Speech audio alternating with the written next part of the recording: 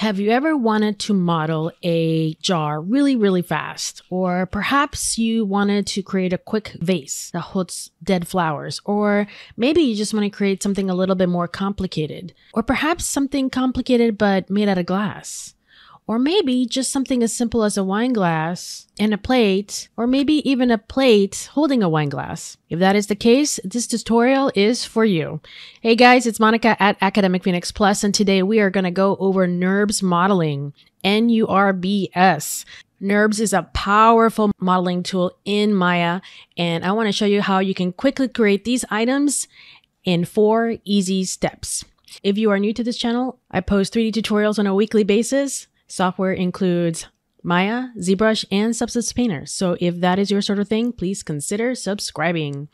So bring out your creativity, open up that software, and let's go ahead and get started in quickly modeling objects using NURBS. All right, here we are in Maya. And the way NURBS modeling works is that you need to first create a curve, then we're going to revolve it, we're going to convert it into geometry, and then Done. It's really that simple. so let's get started with the basics.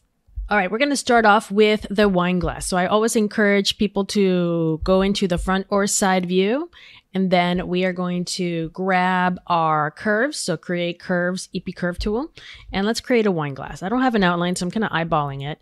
So I'm just going to go in and just kind of you know, you just click and drag and create your little shape. And you really just need the basic silhouette of the wine glass.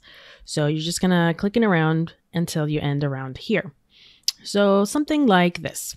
Press enter. Now this isn't set in stone. You're gonna right click, go to control vertices and just kind of manipulate these so that, you know, you get the wine glass that you want. So maybe this a little thinner and maybe this a little higher and maybe this part can be a little flatter, something like that. Now, the tool that we're going to be using is called Revolve. So you can find it under curved surfaces and you're going to find it right here, but it's all based on this pivot point. So we're going to click on the letter D on your keyboard and move that pivot point to the beginning or end of your curve. Click D again. And now we're going to click on Revolve, but the magic actually happens in perspective. So just like it's like it says, you're going to click this and you get revolve. And now I have a wine glass. So let me select it and move it aside. Now this isn't set in stone and you'll also notice that it's black. And the reason why it's black is because the surface is going the opposite direction. So to quickly fix that, we can go to surfaces up here under modeling pull down menu, go to surfaces and just go all the way to the bottom, which is reverse direction. And there you go. The nice, simple Lambert shading. Now, as I mentioned, this isn't set in stone, so I can actually go into my control vertices and kind of bring this in a little bit and still manipulate it. So if I want to, I can actually create all sorts of different shapes and fairly quickly too. So let me kind of bring this in a little bit and we're going to convert this. We're going to go to modify, convert, NURBS to polygon options, and we're going to make sure that control points is selected. So edit reset settings, control points, tessellate. And we're going to get a not so pretty looking cup. If I press the number three on my keyboard though, you'll notice that it looks exactly like, like my NURBS surfaces. Now NURBS, if you right click on the NURBS, you're going to see that we have isoparm, control vertices, surface points, and it's actually very challenging to control. It acts like a model, so you can manipulate the faces, the vertices, you can UV map it, and so on and so forth. This one, not so much. It's a little bit more challenging. And you can also see that they are still being influenced by each other, including the curve. So if I do this, they all change. Now to make this look prettier, let's go to Mesh Smooth just to make it permanent. There you go. So now that looks a lot better. So when I press the number one on my keyboard, it actually looks like it's supposed to look like versus when it was low poly. Now, how do we tell it to not be connected to this curve? Well, just delete the history. So let's go to poly modeling. I'm going to center the pivot, delete the history, freeze the transformations, and now this object is done. Now, what's powerful about this is that I can continue going on and creating a lot more glasses. So for example, if I wanted to make this a little wider and make it feel more like a kind of like a goblet,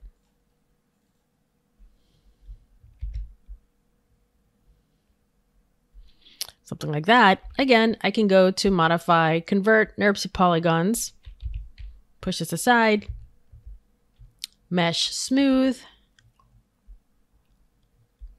and then hit all three buttons and continue going from there. So again, it's pretty fun because you can quickly create a bunch of different types of glasses or goblets or basically anything uh, fairly quickly just using the curves.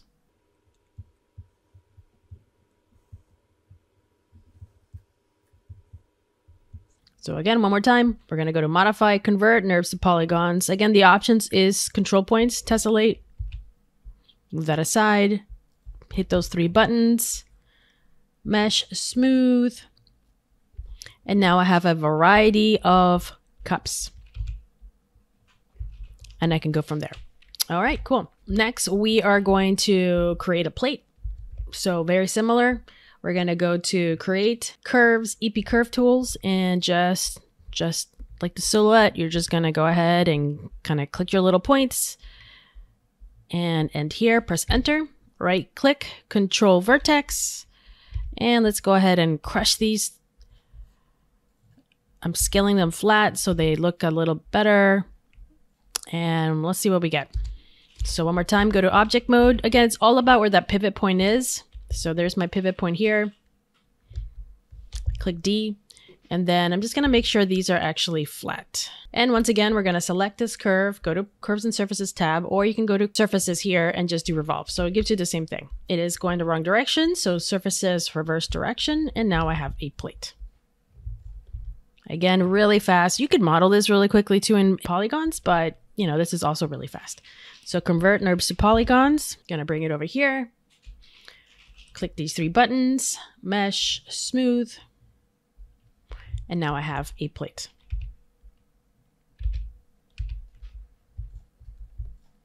Again, you're not limited to just this. You can always go back and, you know, make your make a bowl if you like. Deselect that. Can Give myself a platter here.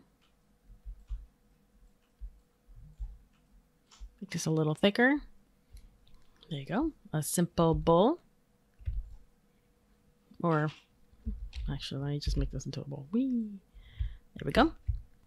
So once again, you can go to Modify, Convert, NURBS to Polygon Options,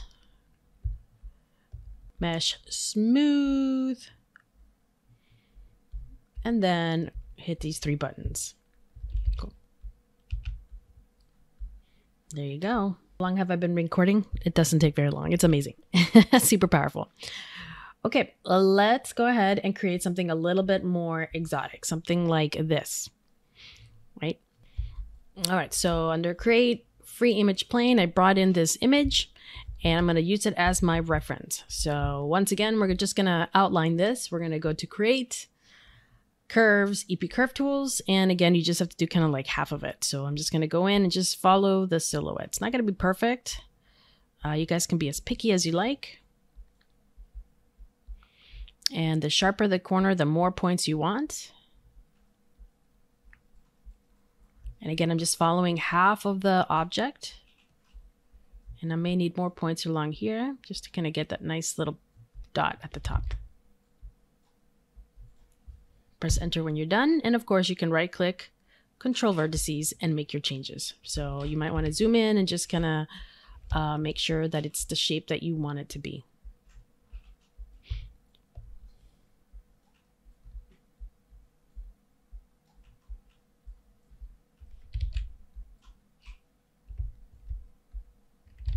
If you want to get rid of a vertice, just press delete on your keyboard and that will get rid of a vertex. Adding one is way more complicated, so make sure you give yourself plenty of dots. Plenty of vertices to play with. All right, looks pretty good. All right, object mode. You want to make sure that pivot point is at the beginning or the end of the curve, and then hit D again, and we're going to go ahead and revolve. Surfaces revolve. There it is. Cool just like that. Now, if you wanted the lid to be separate, obviously you would have to have two separate curves, or you can just extract the mesh.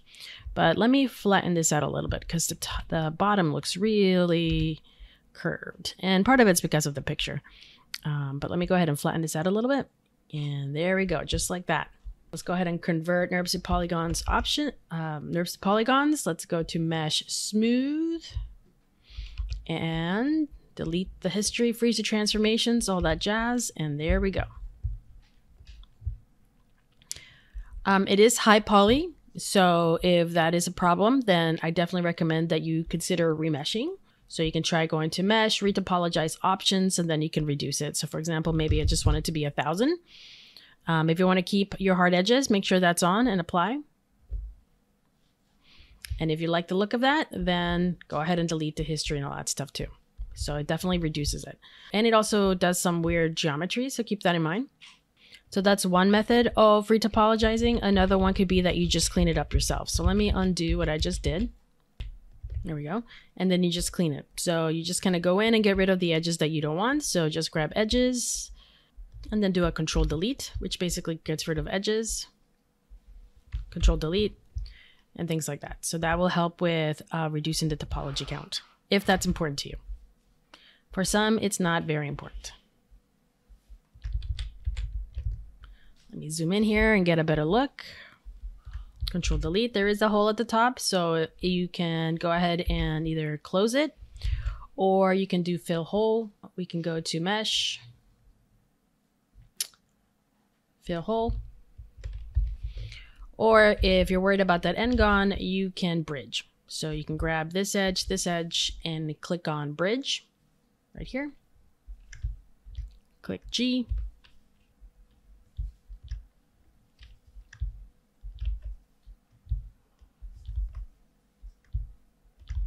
You may get a triangle.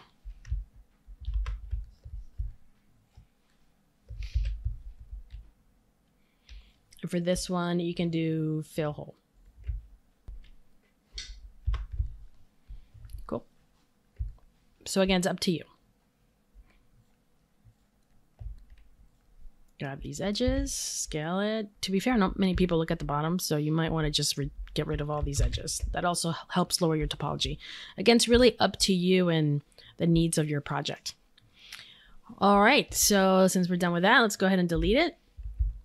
And fairly quickly, you can see that by creating these NURB surfaces, you can actually get some really nice polygons. So now these are ready to be UV mapped, textured, rendered, and so on and so forth. So for fun, I'm going to go ahead and just add a glass shader. So there's a preset over here. Let's go to, uh, let's go to clear water. I'm going to make this into clay. So assign a new material, Arnold, AI standard surface, presets. Let's go to clay.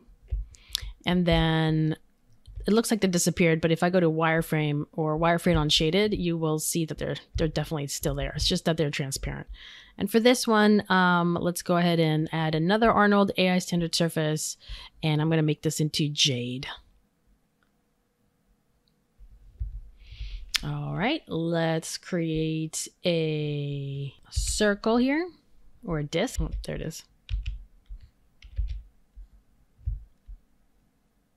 Make sure everything is on the ground. Might want to turn on occlusion here just to make sure everything's basically on the floor, or you can tell by if it's intersecting the ground.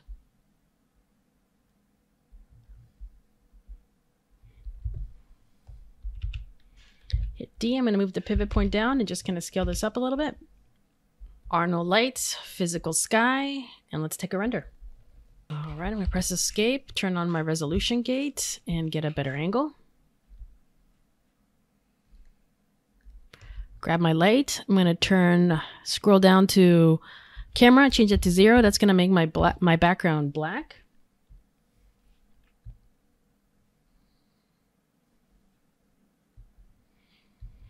And I'm actually going to make this look even better by actually using a sky dome, scrolling up to the top, go to color, and then grab an HDRI file. So go to file, folder, and let me go find an HDRI. All right, let's grab that. Again, scroll down.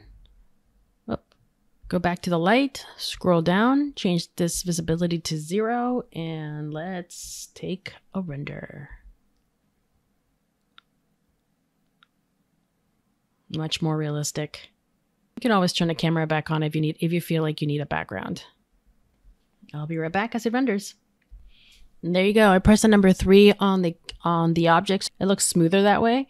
And as you can see, very quickly, I can create a lot of objects in no time at all. It's just a few steps. Create the curve, then revolve it, then convert it, and then and then that's it. There's like three steps.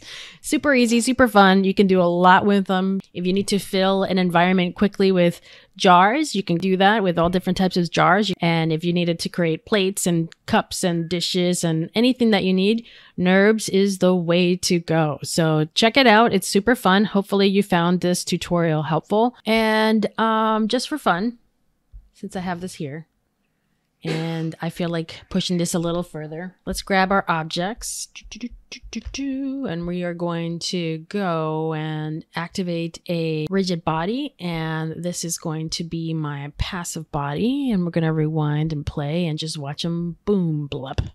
Let me rewind. Let me pull back here so we can just kind of watch it go bow. There it goes. Bye. Okay, let's see what happens here. Boom. I'm not sure why the blades are doing that, but welcome to bullets. Whee! It's kind of fun. Maybe I'll rent that. Let's see what that looks like. There you go. What do you think? it was a nice and calm little picnic outside, and then suddenly a gust of wind comes in and just throws everything off into the air. But very quickly and with simple shaders, you can create a really kind of relatively realistic uh, items, renders, and everything. So hopefully you found this helpful. Let me know by leaving a comment below. You can also like and subscribe. That is your message to me, letting me know that you like this content and that you want to see more. Take a look at academicphoenixplus.com. There you can find free ebooks, downloads, resources, and so much more. So academicphoenixplus.com. There you can find e-courses. Those are e-courses that are deep dives of the software Maya, including modeling, UV mapping, texturing, lighting, and rendering. So the whole gamut. So take a look at academicphoenixplus.com e-courses. That's another fantastic way to support me. So again, thank you so much for taking the time with me. Hopefully you enjoyed it. Keep creating and I will see you next time.